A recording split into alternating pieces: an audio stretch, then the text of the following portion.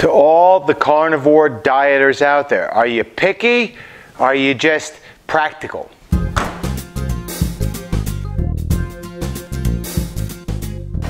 Hey there, NJroute22.com here with a little, this is a, like the low carb keto carnivore thing, but it's more towards the carnivore eaters. Um, and I guess towards the people who are, uh, who eat meat on a low carb or ketogenic diet. Um, I see a lot of people that are, that are kind of hung up on the organic and grass fed and all this other stuff. Um, and I don't think that's uh, something you, like most of these people, have to be uh, consumed with. It's just another thing. It's one of this gamification, I guess you can say, of, of eating. You always want to do the best. You always want to fine tune. Um, you always want to get the, like, I, I can't explain. You just want to be a perfectionist. I don't know. I don't know exactly the right verbiage to use. But I think when it comes to um, being a low carb person and, just eating meat, I'll tell you this much right off the bat. If you just eat red meat, so many of your problems are going to go away. And I'm going to do another video about this uh, later on. But no digestive issues, no skin issues, no sleep issues, no joint issues.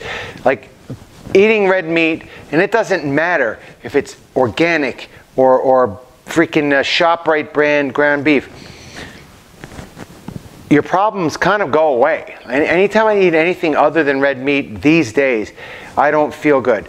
Um, and I don't feel any better or any different if I'm eating any kind of organic meat or grass-fed meat or pasture-raised beef. Um, it really does not matter. And I know some butchers out there that have their own uh, livestock and the taste of something that is uh, truly grass-fed uh, or even, um, you know, th there are some, some times that the meat does taste different.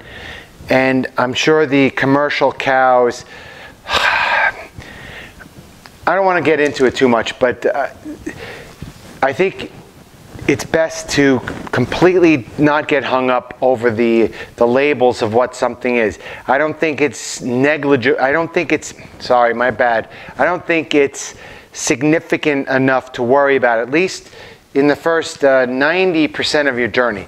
Maybe once you've gotten to this level of perfection where you're sub 10% body fat and you're like running like a lean machine and there's nothing left to perfect perhaps if you want to, and you have the money for it, by the way, it's a lot more expensive to eat organic, grass-fed, pasture-raised beef.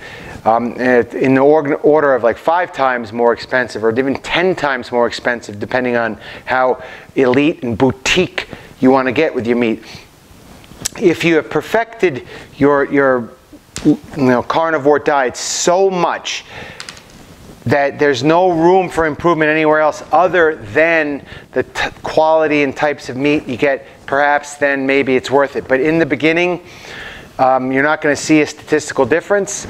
And I think really that um, you should just go get your ground beef. I, am not kidding. It's not even about steaks or ribeyes or porterhouses or filet mignons.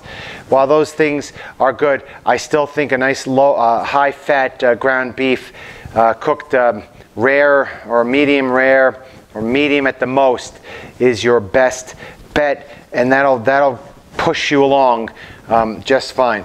Just be really careful about like a lot of these people get all hung up. Okay, just remember that they get hung up and there's some sort of marketing involved with that.